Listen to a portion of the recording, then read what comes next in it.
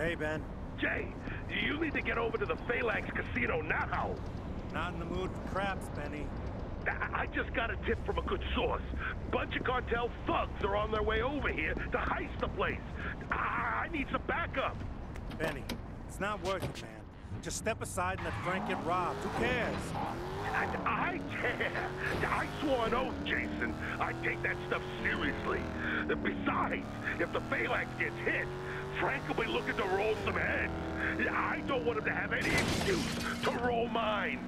Fine. I'm on my way. Oh, hurry! No matter what the problem, we'll clean it up like it was never there. Guaranteed.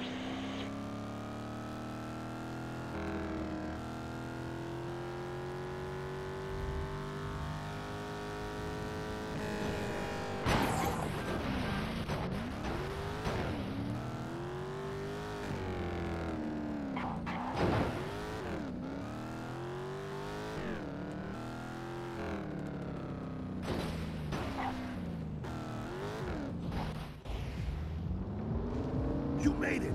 Great. Grab that weapon over there and let's get ready to defend the place.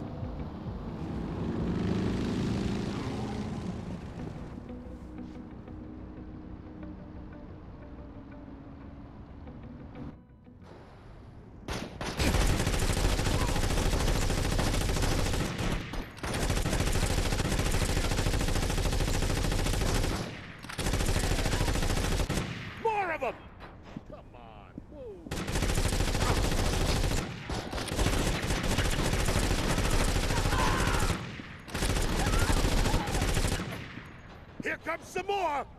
How many are there?